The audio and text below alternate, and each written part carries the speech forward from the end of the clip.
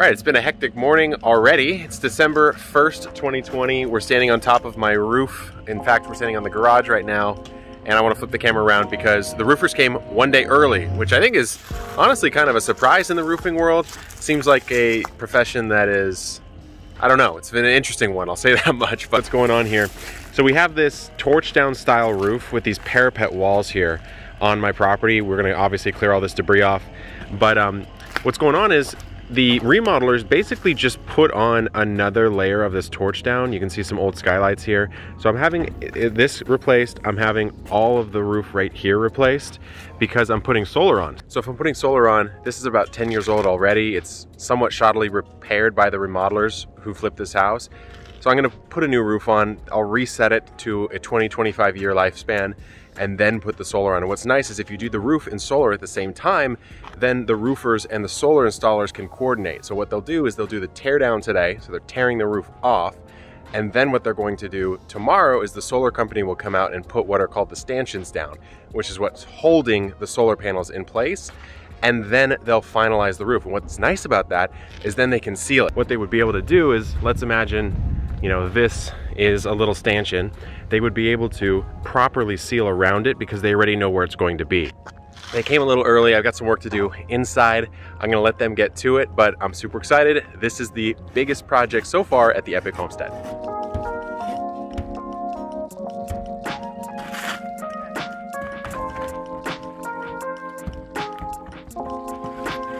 It's been about an hour or so and you can see the guys are hard at work. They've taken off quite a bit of this back section right here just making sure that this roof, when it gets taken off, doesn't spill because what you can see if we get in here is there's some gapping on the roof. This roof is just, I guess like a two by eight or something. So they're gonna cover the whole bottom of the garage with plastic wrap so it doesn't mess up. But take a look. This is what a torch down looks like when it's uncovered. Pretty wild looking. So day two of the roofing continues. Looks like we got a couple more guys here doing the tear down. So we've got a lot more to do. It's looking pretty good. Woke up to the sound of my roof being uh, pounded on, so that's called the homesteading alarm clock. But we're gonna get going, guys. Excuse the hair. wow, that looks really sloppy. All right, most of the garage is now off. These parapet walls are obviously a little bit more challenging, but you can see the spacing there compared to the plywood and it looks like we have the rest of that getting done right now. So the roof job continues. We found some interesting issues over here where there's like a, there's a bunch of screws coming up right there. You can see. And it's just someone who, whoever owned this before, they screwed panels upwards through that and it's causing a leak, so this has to get replaced. But it's going well. So the garage roof came off a lot easier and this stuff over here is way stickier and there's just some really interesting things that you learn like this thing broke right here with just some pressure. Obviously this is just an odd roof system. Um, over here comes off a little easier and then over there came off the hardest and still is coming off. So it's just a idea that this roof is the oldest second oldest and newest right here. The teardown saga continues. It looks like they're getting some of the boards ready. We've got these plywood boards right here. Those are going to go right there to replace that rotted out section. There were some screws coming up through that messed with the roof system, so it rotted this board and a little bit of that board. And so these boards, I guess when you do a roof, it's just a per board price uh, for any extra boarding that needs to be done. So that's gonna apply to over there, and it's gonna apply to over there. So it adds about six to $750 to the cost, depending on how many boards need to be used. But um, my philosophy has been do it correctly the first time so that this is probably the only roof I have to put on this house. And so if I have to spend a couple thousand extra dollars now, I'd rather do that than skimp out on that and then just suffer the consequences later.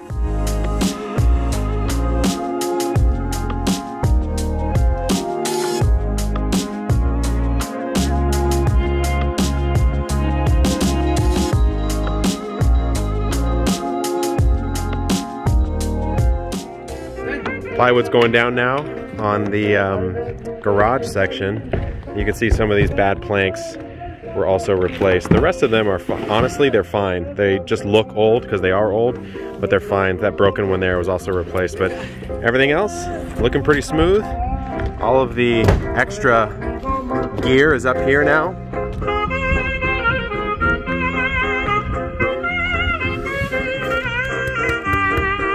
It's the underlayment over here we have the coping that'll eventually go, and a lot of this other gear right here.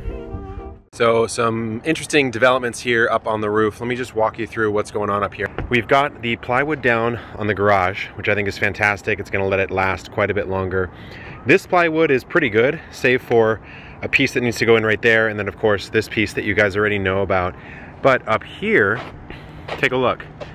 This is the old roofing system from, I believe, the 40s.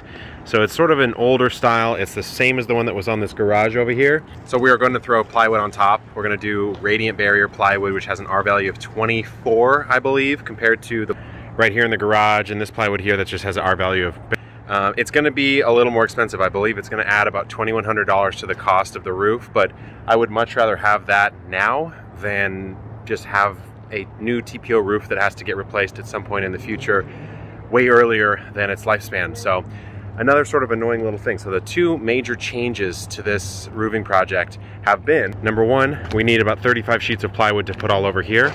And then number two, this coping right here, this goes over the top here is this parapet style wall. So if the TPO comes up like that, you have to actually have, you don't have to, but it's recommended to have this come over the top so that you have a completely sealed system. So that's what's going on. It's gonna be a little bit more time, but we'll see. Good luck. I'll see you guys tomorrow. So this here is the uh, radiant barrier plywood, the shiny, kind of red on the side. I don't know what's up with that, but looks solid. It's gonna go on top of the roof. It feels very very solid. Waterproof, yeah. Going right up there. So the radiant barrier is up on the roof now, and what happened is I was gonna have the solar done, but all this has to be covered with that radiant barrier before they put their stanchions down. And so this is gonna be an all day project where this is gonna all get covered. It'll look nice and shiny, at least for a little bit. And then the solar company will come put their stanchions like right over there. And then with the rest of the TPO roofing job. All right, it's 4.30 p.m. on the 3rd, I think, and most of the roof has been plywooded out with that uh, barrier plywood. So there you go. There's this little section right here that needs to get done. This section right here needs to get done. That section is actually the part where the solar would have been because the trees would have been right there, but they're not anymore. And so I'm curious to see tomorrow what the solar company will do, but that'll be for another video. Today we're focused on the roof. We still have a lot more to do. After this is done, this has to go down. This is the underlayment for the TPO and is right there and that has to go down as well. So there's still quite a bit to do, honestly.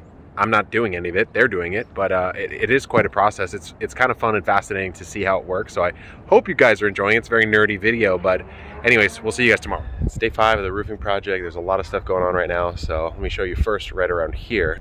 These are the parapet walls. And so what we've done, or what they've done is put on some plywood to just protect these sides because it's basically just empty framing right there.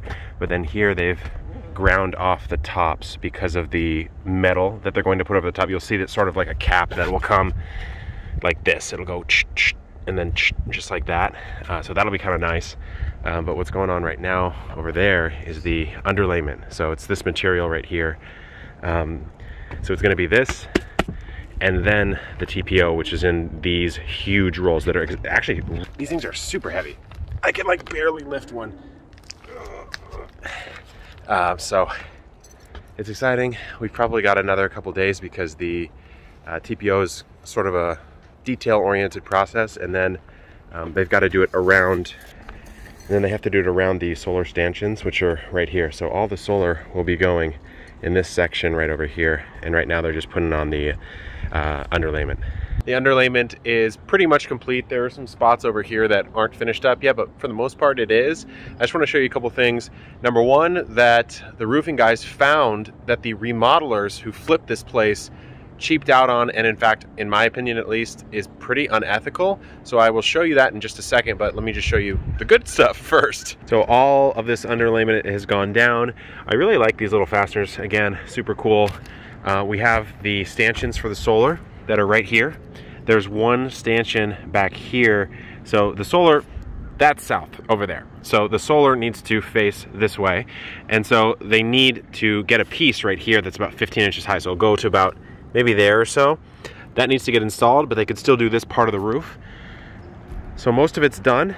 I need to make sure I'm very careful and not tripping. There's the TPO right there. But let me get down off the roof. I want to show you something that is pretty, pretty crappy. So right there, underneath the roof, this soffit right here is underneath the roof, and it's rotted out. And the way that they hit it is by putting this paper and wood mixture of trash basically up there to firm it up so that an inspection wouldn't be able to tell. And you could see also right there, we pulled the paper out, but there was paper underneath there, like newspaper stuffed in there to make it seem as if it wasn't getting hit by termites, which is just completely unethical in my opinion. Honestly, I have half a mind to call them out on it and kind of put them on blast. I'm curious what you guys think. Again, this is my first house. I don't know how common this type of stuff is, but it feels pretty scummy to do that and it just is further work that I'm gonna have to do in this house but the roofing in general is going well so I'm happy about that. So today the drip edge has gone down. You can see the fascia board has been replaced over here. Some of this rot we still have to fix but drip edge is down and then up there the guys are doing some of the TPO. The guys at Baja Roofing also installed this new wall here along the garage because otherwise the slope would have been really weird coming in to here uh, so I think it'll look nice. It'll be a nice clean way. They don't have to design something custom besides this one piece of wood and that'll make a nice wraparound across over into the awning. We are in the TPO phase of the roofing. The sky looks like it's on fire right now. It very well might be. We've still had some fires here in Southern California, but I wanted to show you just a little bit of how it works. So the TPO is this material right here. So the light side is up and this gray side is down. So what happens is it gets heat welded. So this part right here is running down the slope. So obviously this one would be the high side. And then this, you would think you could flip it up, but you can't because it's been literally melted together on top of each other. And then they start sealing off these corners as well in a similar fashion. And then what's interesting about my house is there's these parapet walls on everything. Like right here, for example, it comes up instead of just running straight off like this awning does. So we're gonna use this coping metal to go across all of the tops, just like this, so that we properly seal it. Because if we didn't, water could in theory run slightly over time underneath that TPO layer, which you wouldn't want to have happen. So when you have the coping metal, what will end up happening is water will either run off the metal surface into the roofing system or properly over the edge into the actual ground. Well, here we are. It's been a while. It took around two weeks with some days off to get the roof done. I would say about seven to eight working days. So the guys did a fantastic job. I'm really, really pleased with it. You can see a little hint of the skylight here and I'll show you some clips as I wrap this project up for you. But number one, really pleased with the work. Yes, it did cost a little bit more than I wanted it to cost, Part of that was I didn't know what was under the roof until I took the roof off. And the second part of that is some of this parapet style on the roof did add some extra cost because I wanted that metal coping to go around. I want longevity. I'm trying to build a modern homestead here that stands the test of time. So that means doing it right up front. You know, they say if you're buying a bad product, prepare to buy it twice, or some saying like that.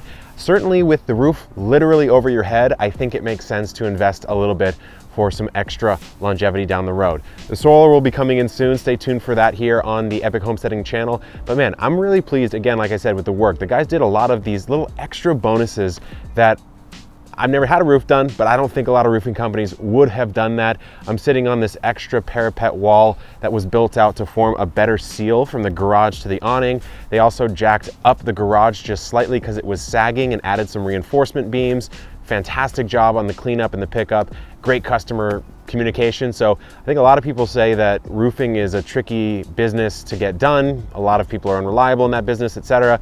I certainly didn't find that to be the case. So if you're interested in roofing, check out the description. I want to promote a quality small business if I can. So I'm going to do that. But guys, I'm super pleased. I never thought I'd be this excited about a roof in my life. I actually am. I find myself coming up here Spoiler alert, the sunsets actually are pretty epic off the top of this roof. I don't really want to be up here too much because it's not meant to be walked on 24 7. However, I might take a few sneak peeks and I hope you really enjoy these types of videos here on the channel. I certainly am excited about them and there's a lot more to come, including the solar, which should be coming any day now. So stay tuned, good luck in the garden and keep on growing.